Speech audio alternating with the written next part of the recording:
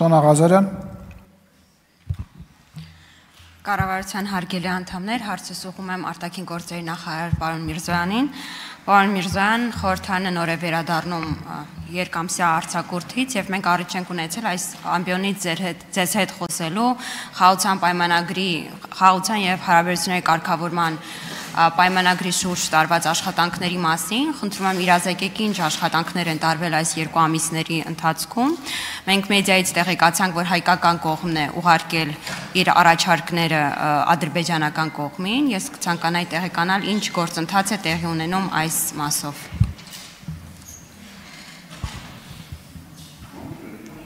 Հարցին կպատասխանի արտաքին գործերի նախարար Արարատ Միրզոյան, համեցեք։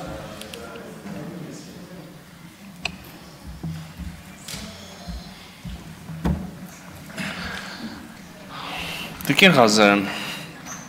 իրականում սիրով կտեղեկացնեմ եւ գուցե ցավալորեն, բայց պատասխանը ձեր հարցի շատ կարճ է։ Այո, այս ընթացքում մեր վերջի շփումներից հետո հայկական կողմը ադրբեջանական կողմին է փոխանցել հարաբերությունների կարգավորման եւ խաղ հարաբերությունների հաստատման պայմանագրի 5-րդ խմբագրումը, խմբագրությունը կամ մեկնաբանությունները հայկական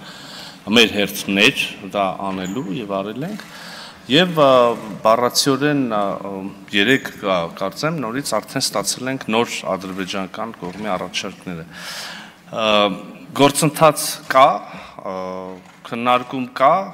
իհարկե առերես բանակցություններ այս ընթացքում չեն եղել հունիսից հետո տեղյակ եք այդ մասին Կրկին դժբախտաբար պետք է ասեմ, որ էական հարցեր կան, որտեղ կողմերի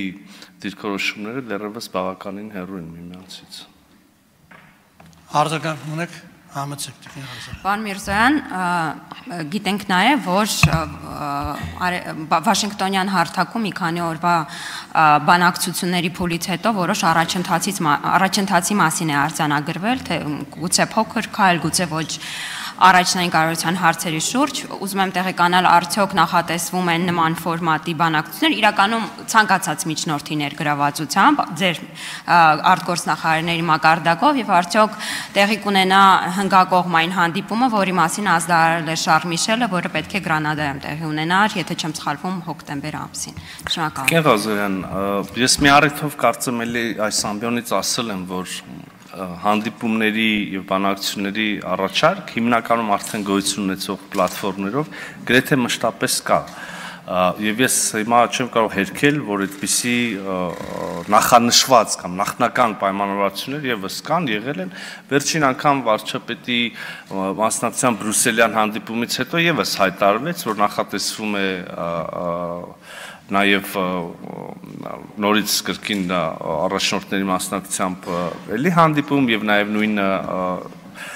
եվրոպական քաղաքական համայնքի շրջանակներում այս անգամ արդեն Գրանադայում ձեր նշած հոկտեմբերին նաև նախնական պայմանավորություն կար եւ կամ քննարկումներ կային նախարարների մակարդակով հանդիպումների եւ բանակցությունների շարունակականության մասին այս պահին կարող եմ ասել որ որևէ կոնկրետ հանդիպման վերաբերյալ պայմանավորվածություն չկա, կան նախնական համաձայնություններ նախնա եւ քննարկումներ։ Այսքան շնորհակալ։ Շնորհակալություն